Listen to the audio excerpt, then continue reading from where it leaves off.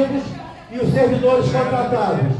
Nós vamos brigar para que também o pagamento dos contratados seja feito conjuntamente com o nosso ou não. Essa é uma outra declaração.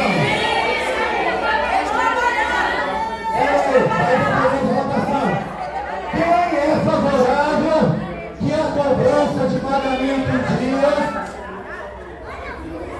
quem é favorável que a cobrança de pagamento em dia envolva também o pagamento dos contratados, porque eles não vêm para a luta porque podem perder o emprego. Quem é favorável levanta a mão. Abaixa a mão. Quem é contrário?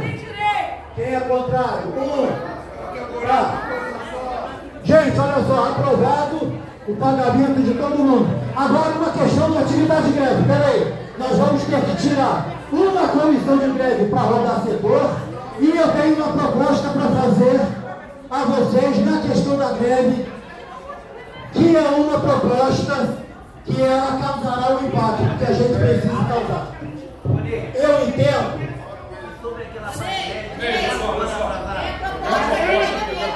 Calma. É a proposta dela aqui. Olha só, peraí, eu sei. Mas eu tenho uma proposta para fazer, os atos que nós temos feitos eles não têm surtido o efeito desejado aos membros do governo.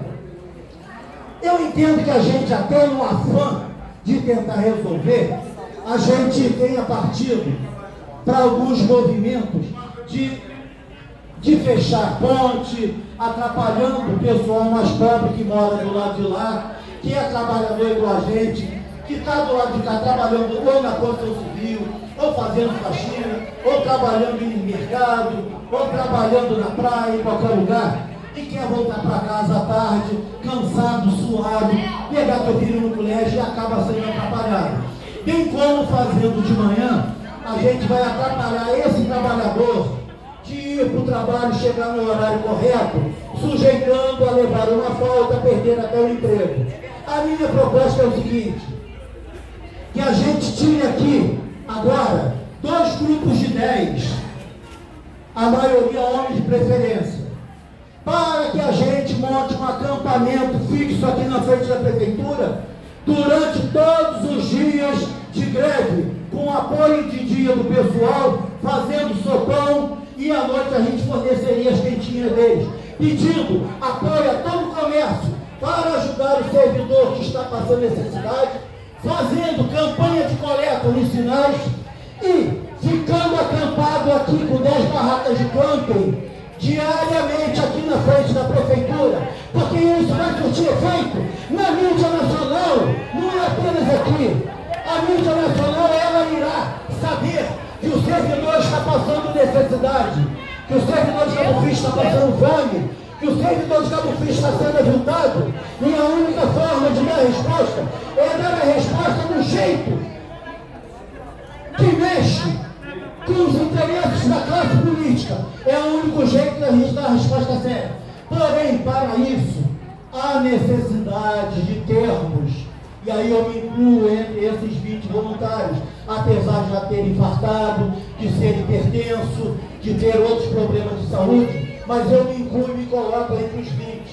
A gente precisa de mais 19 voluntários dispostos a lutar, a meter a cara, a mostrar para o governo que o servidor tem sangue na veia, que o servidor não está morto, que o servidor não está esfacelado, apesar dos nossos movimentos não terem atingido um objetivo desejado.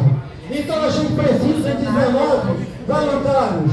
Não havendo voluntários, a proposta está morta e mostrará que o servidor, ele realmente ele mas ele quer lutar de forma cômoda, através das redes sociais. A gente está cobrando a hora de meter a cara agora. A hora da responsabilidade é agora. Ou vocês aprovam ou não aprovam essa proposta.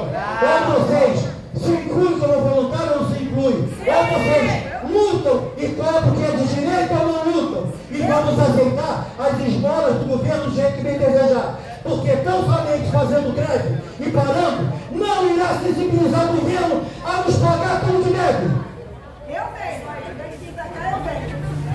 Verdade, impressionante. É, é, botando, botando um adendo na proposta né, de greve, né,